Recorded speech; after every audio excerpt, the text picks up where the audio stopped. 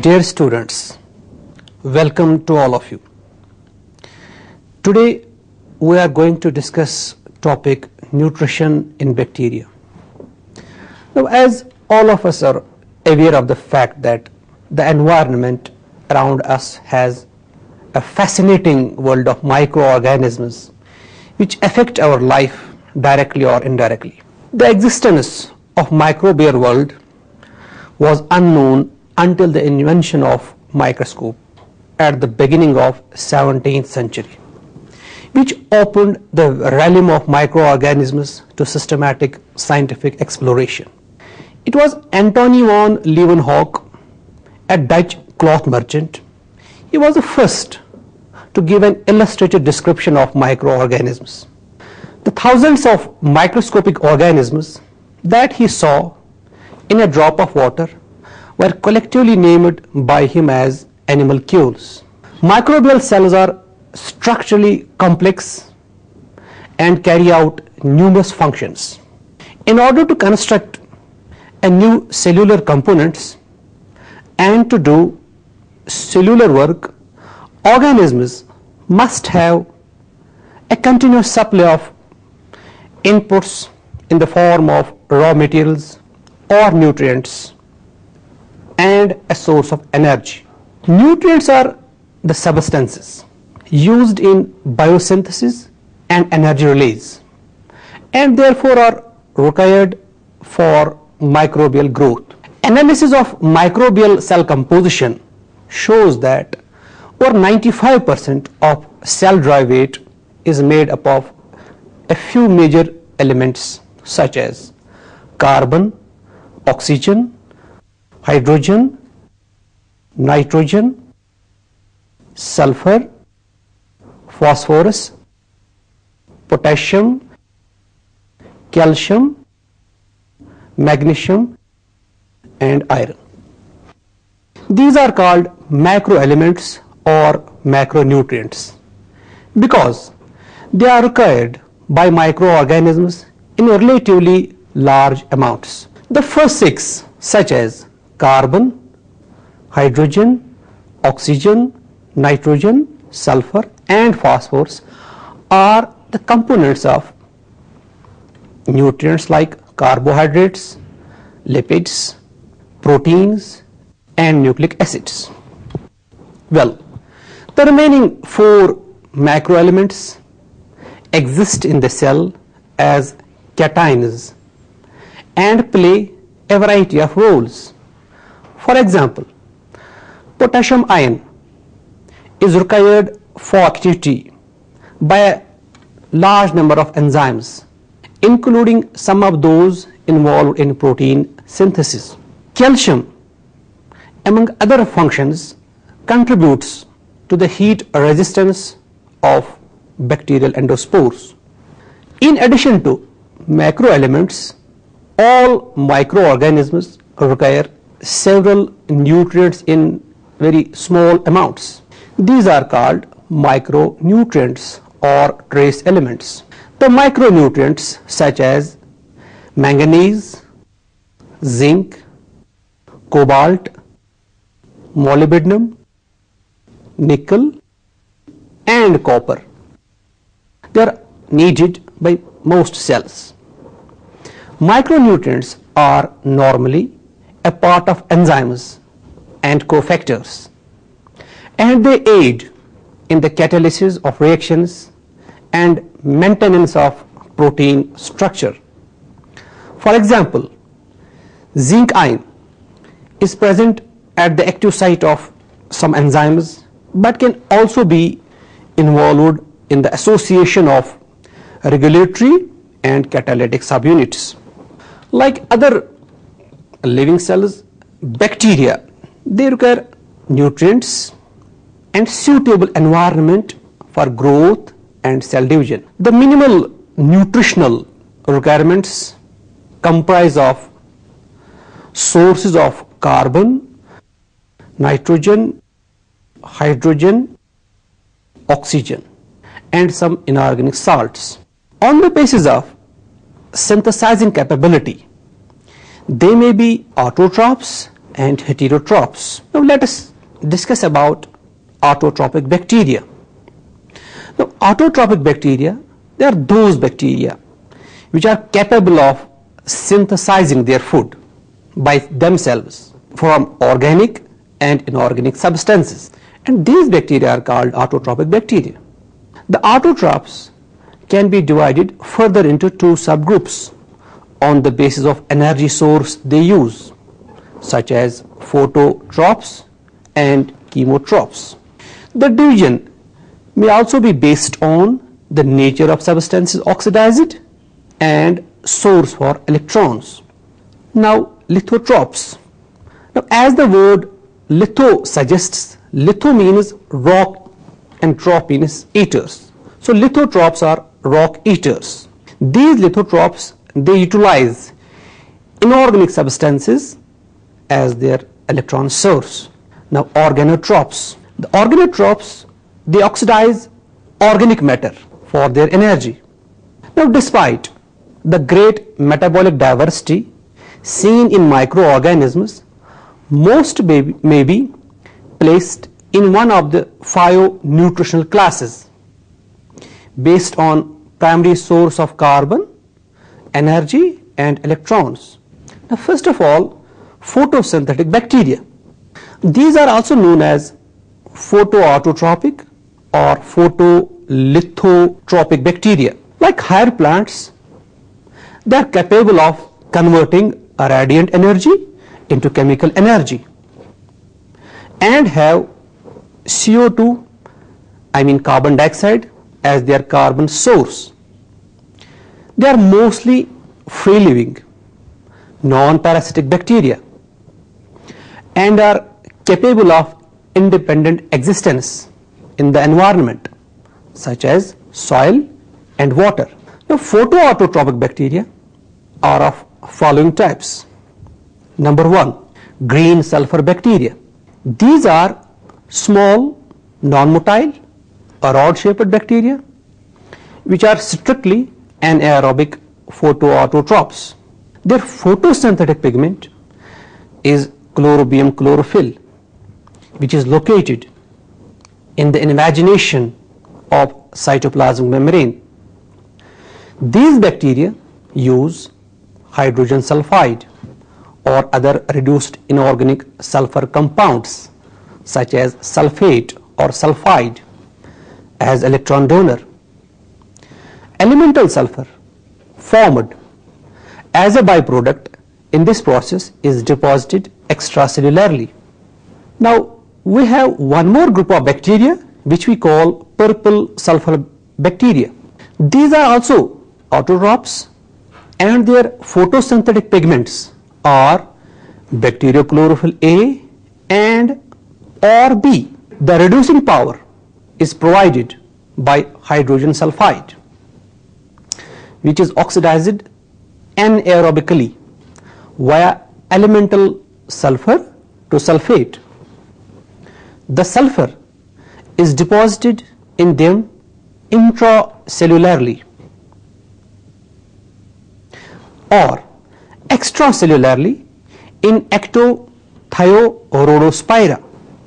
Some photosynthetic bacteria use organic matter as their electron donor and carbon source.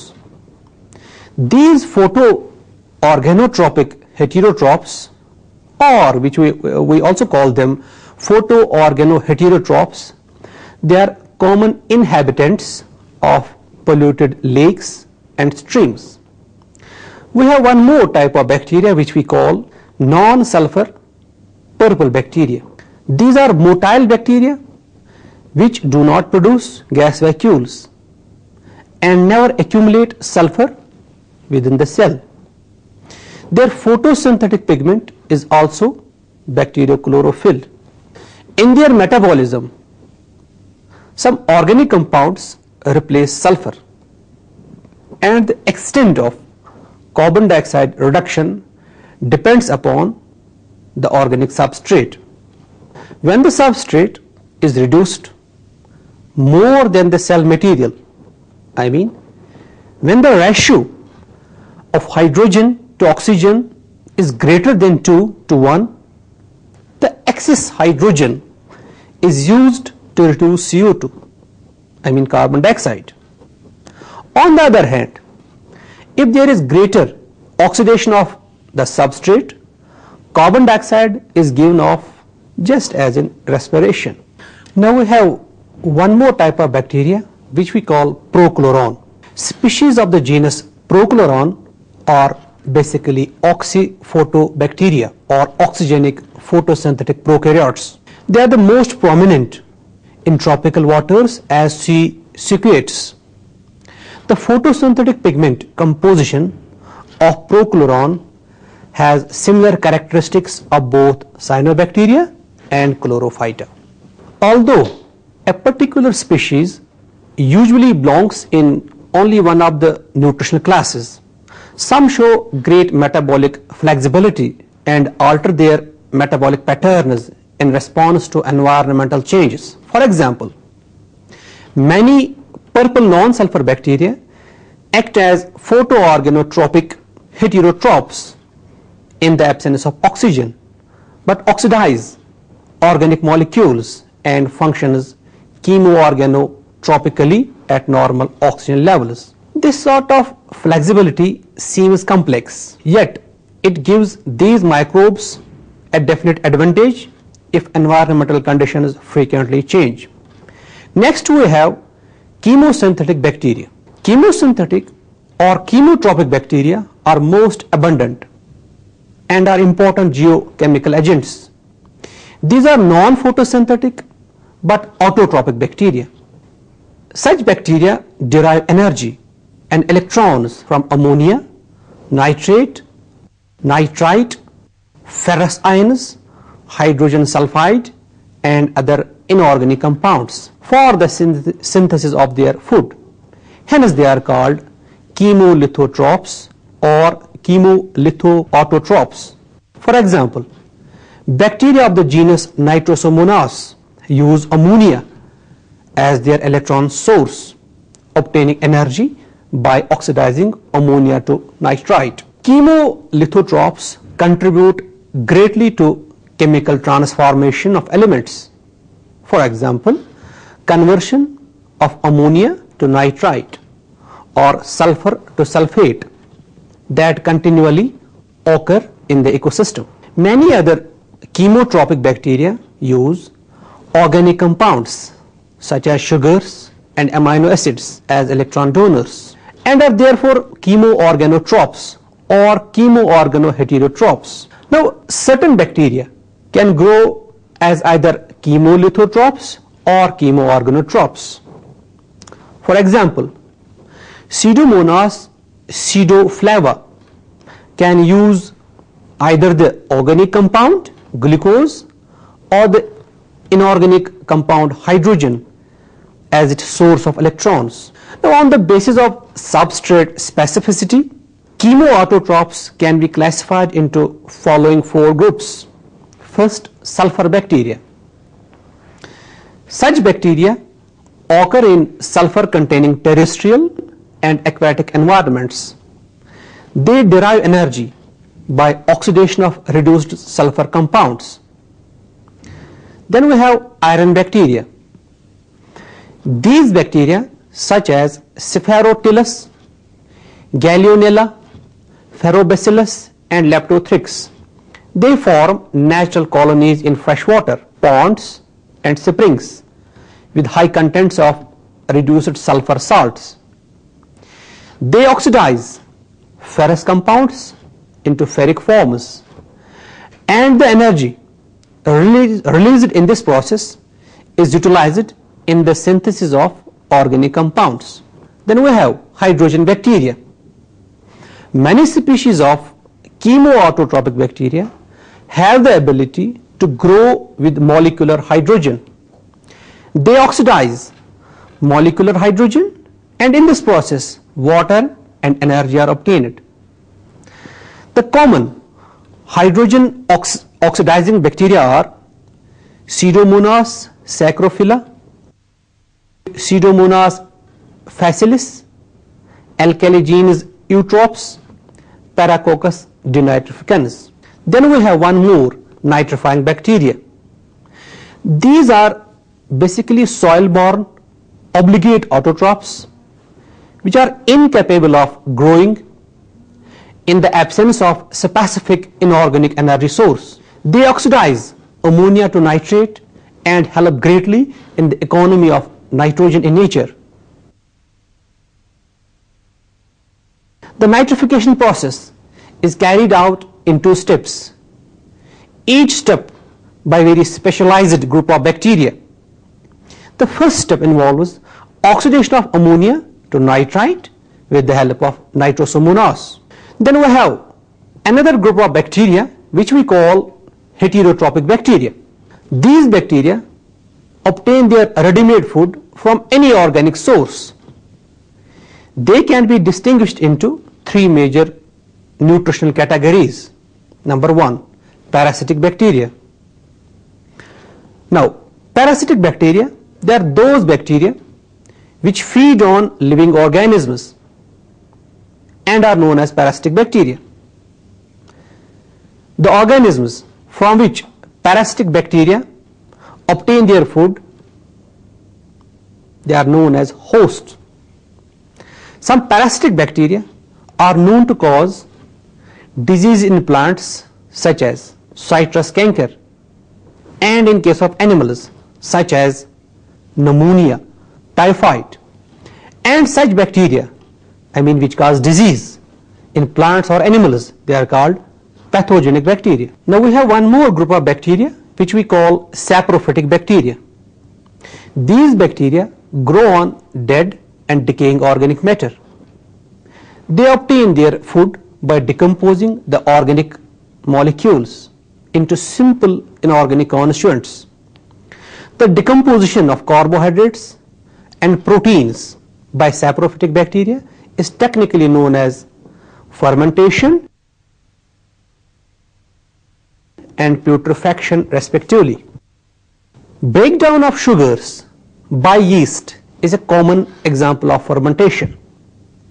In this process, carbon dioxide is released.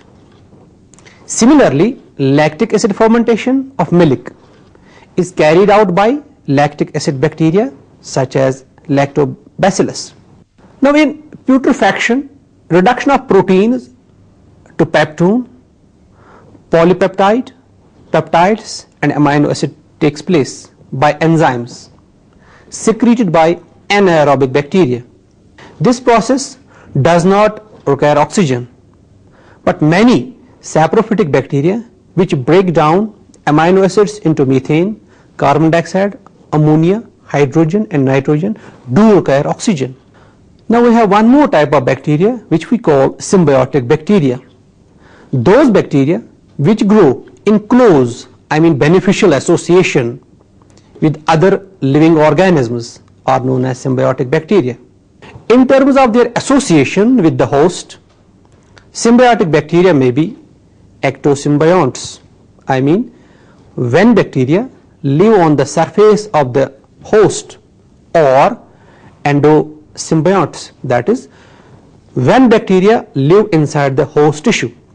The bacteria inhabiting intestines of man and animals are good examples of symbiotic bacteria.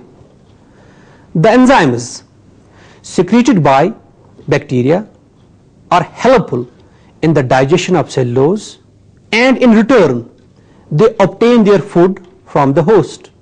Similarly, root nodule bacteria such as rhizobium which is present in the roots of leguminous plants fix atmospheric nitrogen to augment their nitrogen supply and in return the plants provide them shelter and nourishment in the form of carbohydrates.